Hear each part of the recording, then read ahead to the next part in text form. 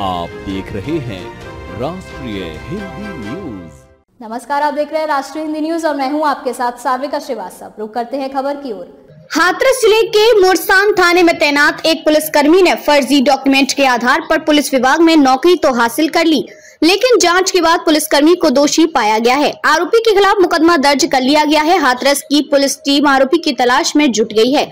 उत्तर प्रदेश के हाथरस ज़िले में एक पुलिसकर्मी ने फर्जी डॉक्यूमेंट के आधार पर पुलिस विभाग में नौकरी प्राप्त करने का मामला सामने आया है।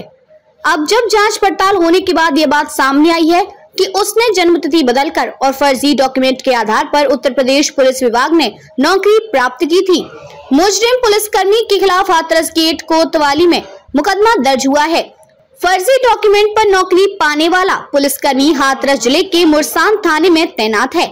लेकिन जब इस पुलिसकर्मी के खिलाफ मुकदमा दर्ज हो गया तो वह ड्यूटी से गायब हो गया। साल 2018 में सीधी भर्ती के तहत जितेंद्र मलिक, पुत्र धर्मपाल सिंह निवासी छाइंसा थाना जरचा, जिला गौतम बुद्ध नगर पुलिस विभाग में आरक्षी के रूप में भर्ती हुआ था। इसके बाद पुलिस अधिकारियों को यह शिकायत मिली कि उसने जन्म तिथि में फेर कर फर्जी दस्तावेज़ के आधार पर पुलिस विभाग में नौकरी पाई है।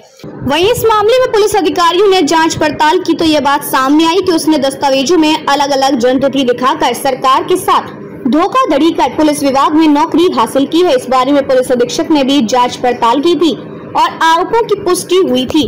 केस दर्ज होने के बाद से ही पुलिसकर्मी फरार हैं। फर्जी डॉक्यूमेंट के आधार पर यूपी पुलिस में नौकरी पाने वाले सिपाही के खिलाफ कोतवाली हाथरस गेट में मुकदमा दर्ज कराया गया। इस समय पुलिसकर्मी की मुरसान थाने में तैनाती है, लेकिन जब से उसके खिलाफ मुकदमा दर्ज हुआ है, वो थाने से गायब हो गया है। अब हाथरस पुलिस उसकी तलाश कर रही है।